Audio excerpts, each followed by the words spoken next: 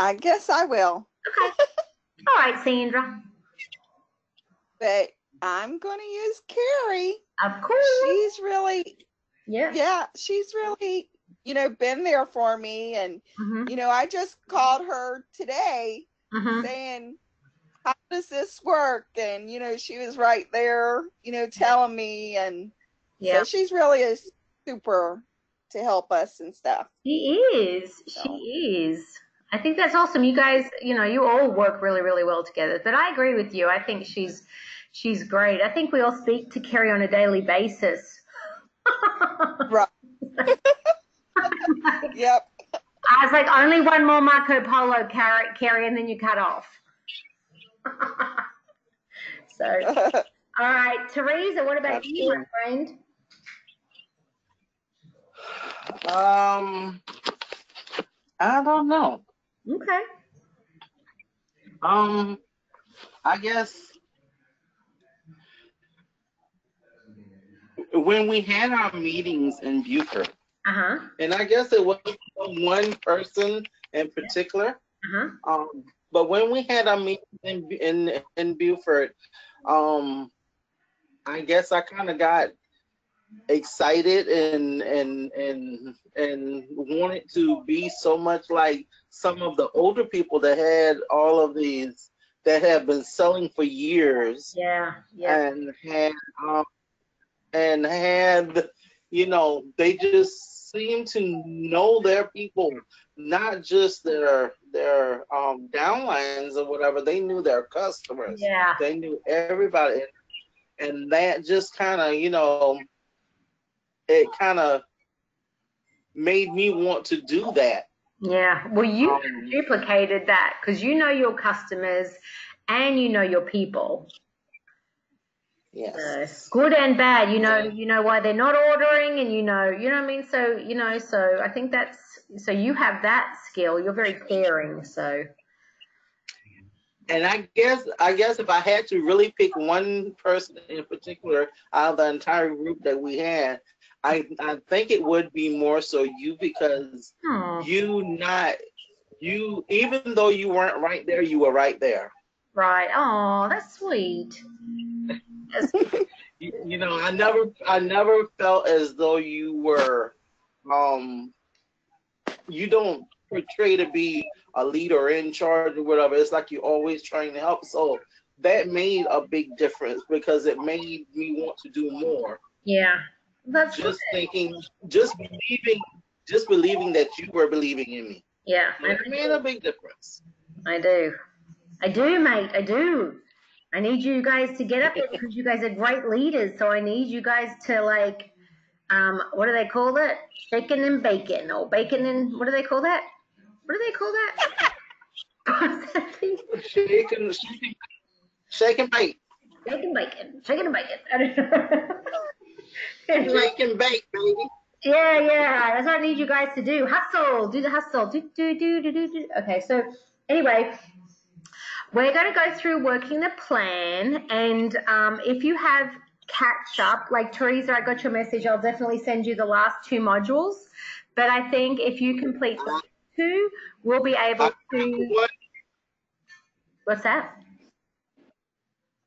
I got one here, coaching your team. Yeah, yeah, okay. I'm gonna be, I'm gonna be sending this to you shortly. Okay, okay, no worries. I, We'll make it. the one before that. Okay.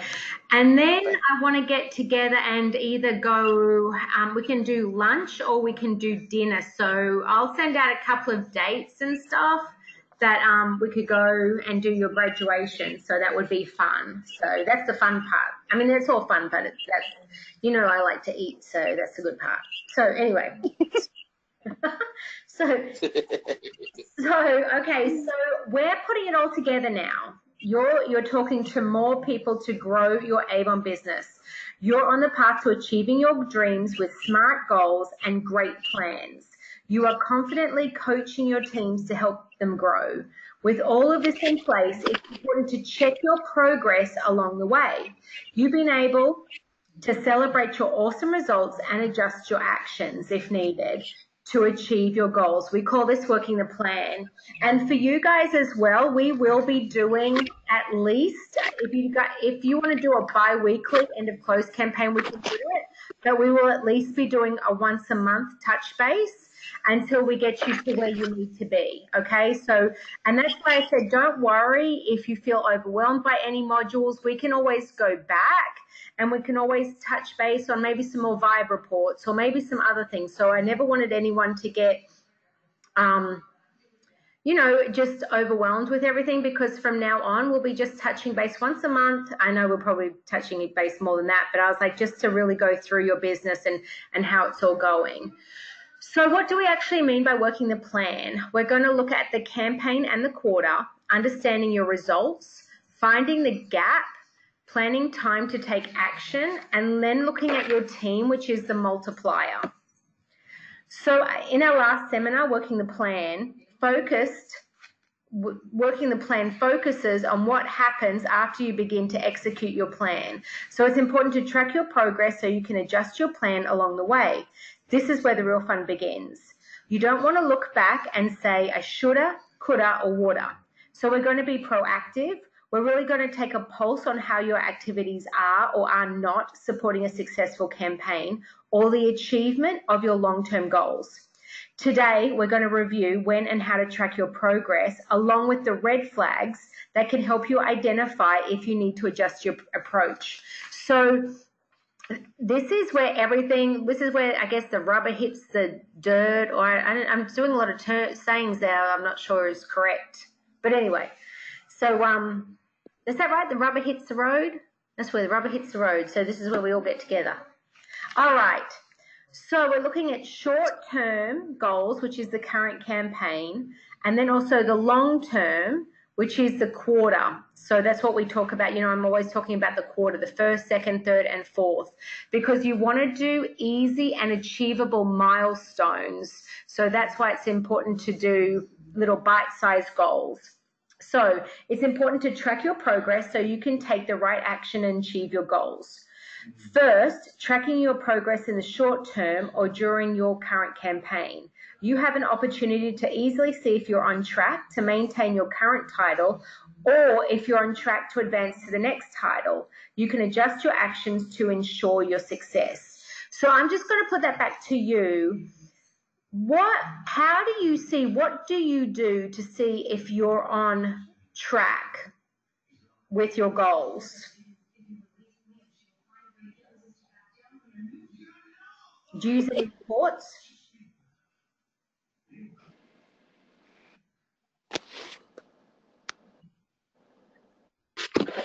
I usually um just kind of uh when I get my um, statements and whatever, I kind of look over them and see where I am from where I was. Okay. Um, and I kind of um, keep up with with everything from there. Although I don't think I do a very good job, so. wow. I'm getting, I'm learning, learning more and more as we do this. So it's definitely um, kind of sinking in, I guess. So probably when we do, when we do our one-on-ones, Teresa, we're really going to look at vibe.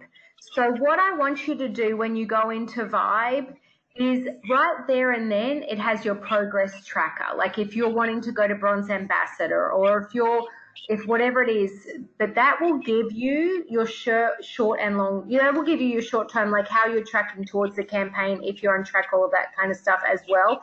But what you're doing right now is perfect as well, because that is actually the same thing that gives you where you are year to date, cycle to date, you know, if you're tracking to PC, all of that kind of stuff. So both of them are, are perfect answers.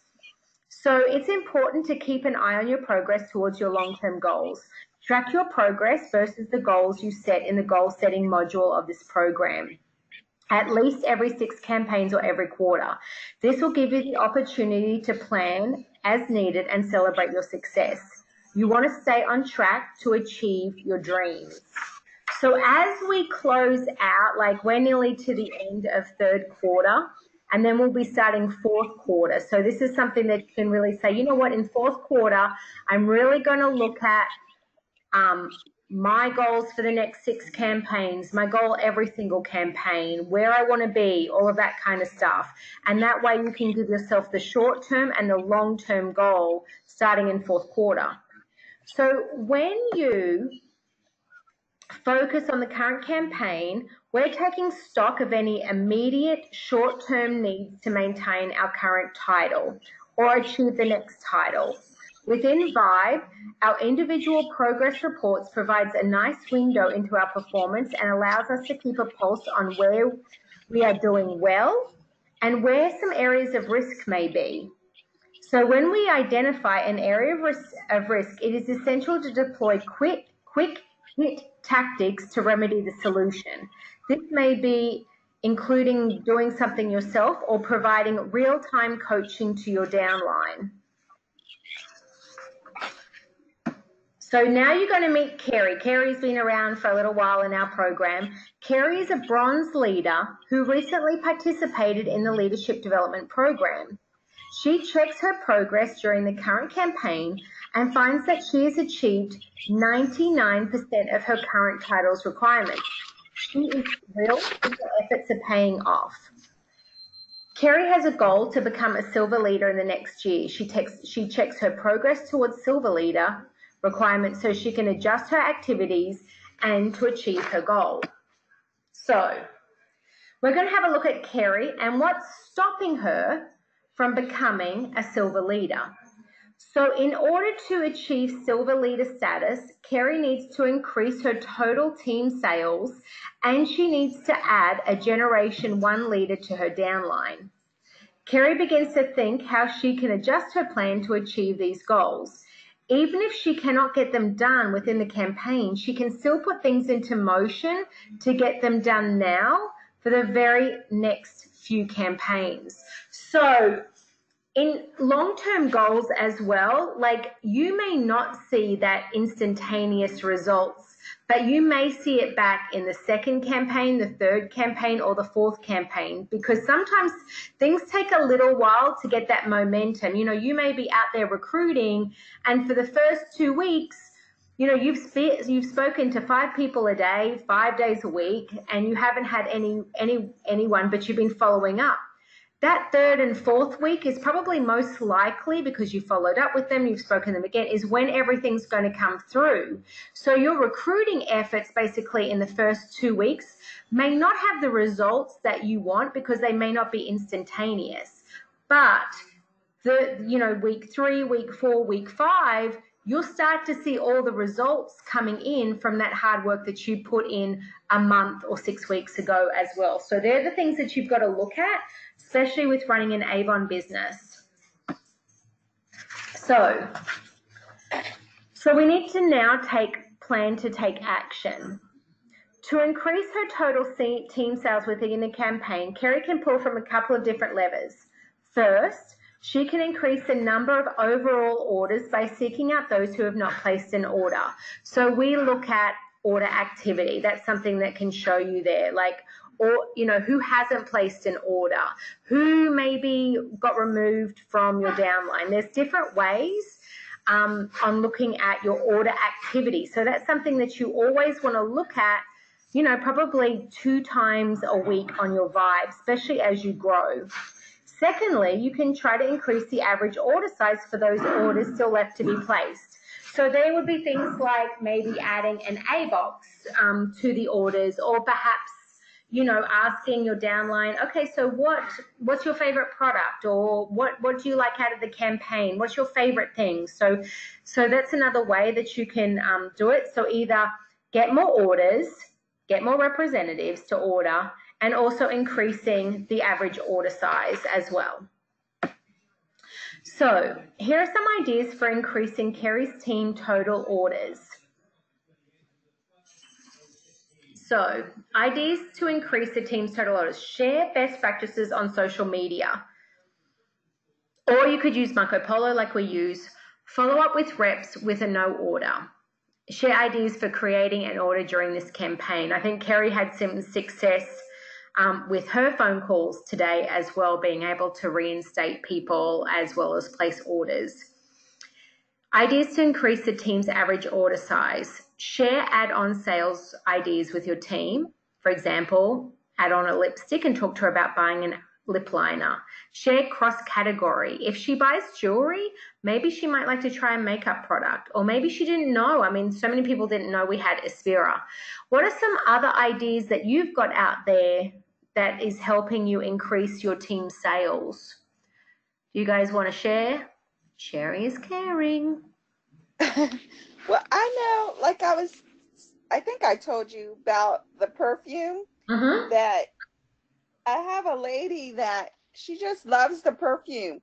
Right. So I will buy, you know, out of the what's new and then go sell it to her. And she's bought every one. She's never hasn't bought the one that I, you know, wow. she just loves the perfume. That's awesome. Teresa, you got any handy dandy tips?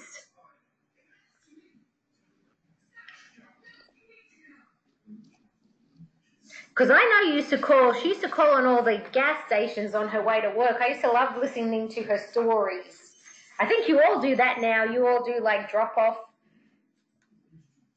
drop off different locations and talk to different people about products and all that kind of stuff. So, you want to add anything, my friend?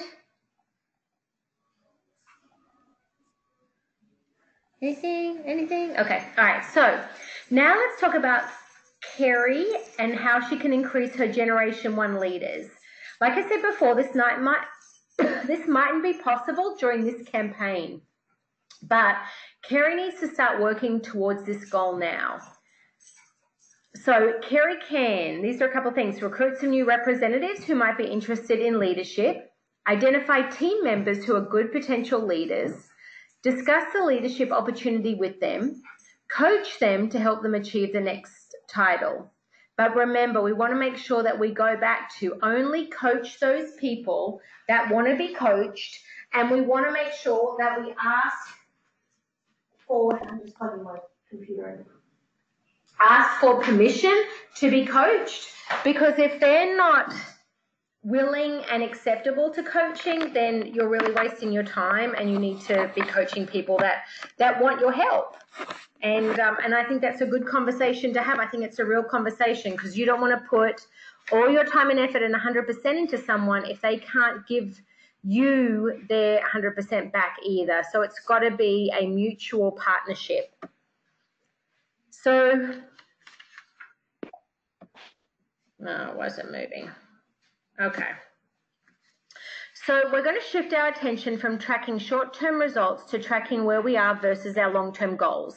It's a great idea to go through this exercise every six campaigns or a quarter at a minimal. Minimal. So every six, you should do a business review every campaign after the O's of every, at the end of every campaign close and also at the end of every quarter as well.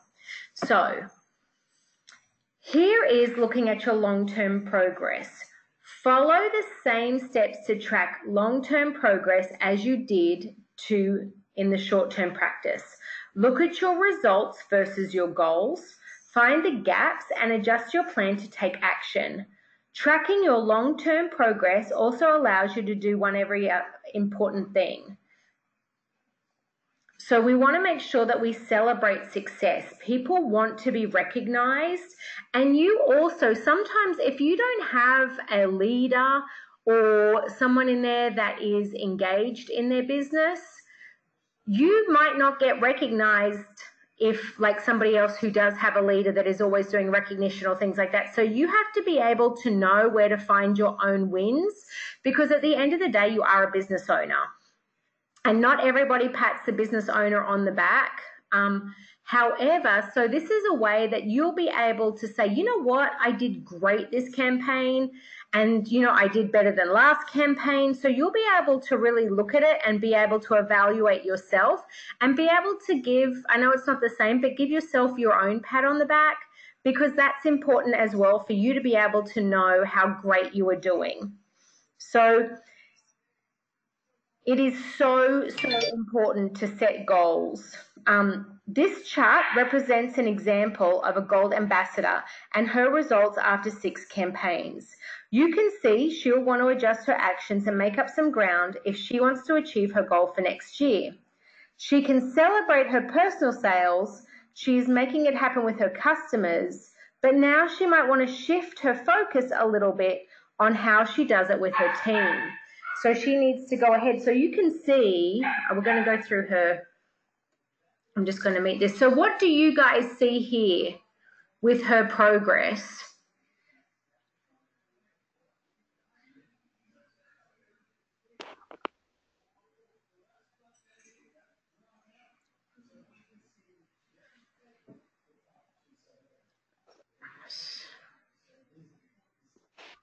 So she's got her goal to the right hand side, right?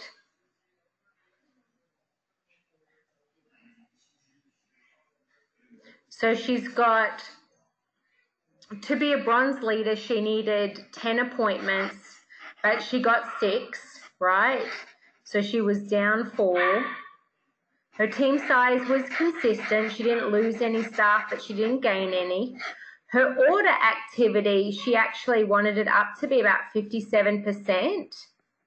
Team orders, and then the average sales as well. So her team say so it goes through and says, okay, like what she achieved as a gold ambassador, and then her quarter that she really wanted to be was a bronze ambassador. So it goes to show you um, you know, where she was in her gap to goal as well. And this is all in Vibe that will go through it with you. It will show you how far you are away from the next level and what you need to do. So you want to look at it by campaign. I know Sandra and I really um, wrote down as far as each campaign how much we wanted to see her sales grow, how many additional customers we wanted to see, um, but that consistency with it as well. So we're going to talk about how you can impact your long-term personal results if you identify a gap. So here are some ideas that you might want to try if you adjust your plan. Who wants to read through the slide? I know you're sick of hearing me. Who wants to read through the slide? Ideas to improve personal results.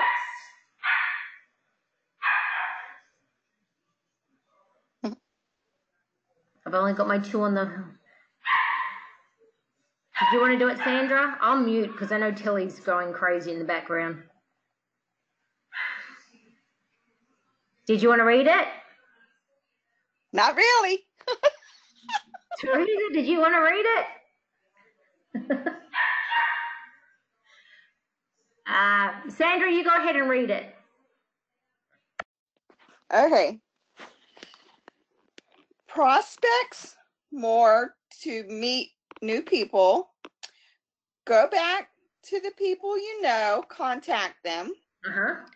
Make five contacts, five days a week. Uh-huh. Conduct Avon opportunity meetings. Yeah. Follow, grow when you talk to people. Uh-huh. Increase add-on sales and cross-category sales. Uh-huh. Still others' ideas, Love things that think about your downline and your upline. Okay. And title, let's see. identify your identify your next leaders, uh-huh.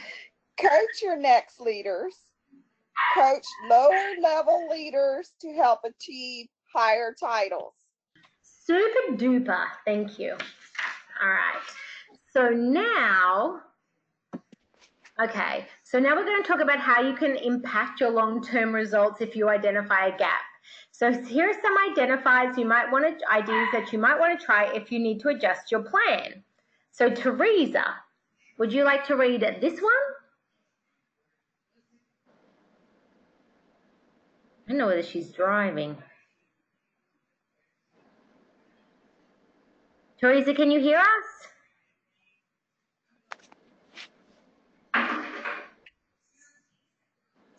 Okay. All right, I'll go. Uh, so Share best, practices and how to ideas on social media. Duplicate your key learnings from the coaching program. Recognize team members regularly. Create team competitions. Connect the team with learning opportunities. And invest in coaching the right people. Oh, Teresa's trying to talk, but we don't hear you, Teresa. No, we don't. So, so Sandra and Teresa, I think that just so you know, so you may want to do something else in the Beaufort community as well, like in addition to what um, you you in addition to the Bluffton meeting or whatever. But Sandra, your IHOP meeting was amazing. So, you know, I wouldn't, I would do some sort of follow up with that. So I want you to start thinking about like what else, you know, because I think they really enjoyed that meeting. So, and I think that's going to help you build your team. I think, you know, I just, that's my husband calling Tilly now. Tilly, my, my poo, all my dogs are naughty. My, daughter, my children and dogs are naughty. he just over to retreat and he she's gone. All right. So I think y'all can hear me now. Yes, we can hear you now. All right. So so your team is your multiplier. Together everyone wins. So um I'm going to go through your application guide is working the plan. But what I want you to do is to do this one after you've done the other ones. Okay. So Sandra, you've got the coaching one done. So you're up to par. We just need our one-on-one for our coaching. So you can go ahead and, and do this. Um, and Teresa, I want you to complete your other at least two ones before we get onto this one. Okay. But what I want you to do. Okay.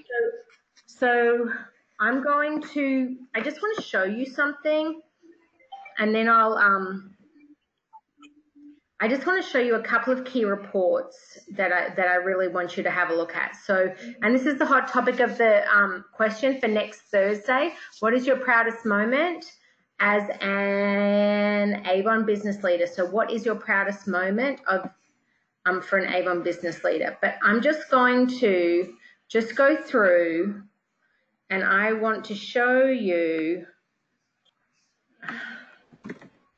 Okay, so this is what I want to show you a couple of things. So you go into Vibe because the biggest thing is now, okay, so I'm going to give you a couple of little goals. I'm going to put my district sales manager hat back on, but let me turn the recording off so nobody can hear that.